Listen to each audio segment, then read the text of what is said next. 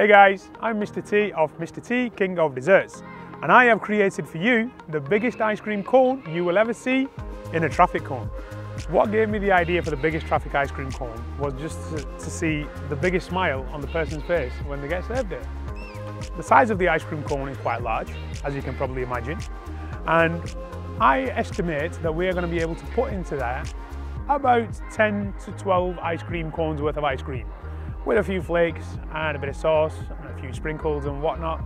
I think it'll come up to around about 2,000 calories.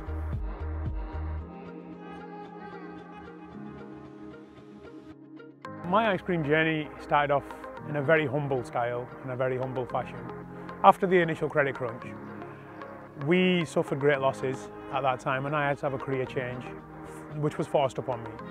My father-in-law gave me a helping hand, purchased me my first ice cream van, and then from there, we have not looked back. We've always implemented new ideas, fresh thoughts, new concepts, which have been welcomed by the public, really enjoyed, we provide a very, very high quality product. We offer at least 60 to 70 different combinations. We have many, many ingredients as toppings on the van, many different flavours of sauce, and we can cater any kind of requirement freshly made in front of your eyes or whatever your taste buds fancy.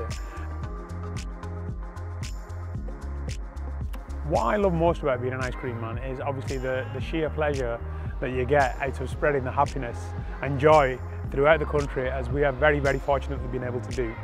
Another thing that I really enjoy about this, this trade is the ability to pitch in and help in charitable causes and things like that, where a little bit of ice cream, it's not a massive thing, but it makes a big, big difference into a day of a person, into bringing a bit of happiness to them. And that is something I relish. It, you know, it gives me a very, very good sense of satisfaction knowing that I'm doing a job where I'm bringing a smile to people that sometimes would be not smiling on that day in particular, if you know what I mean. And it's just a nice feeling. And then on top of that, it's just seeing it grow from what it was, from a single ice cream man to where we are fortunate enough to be now.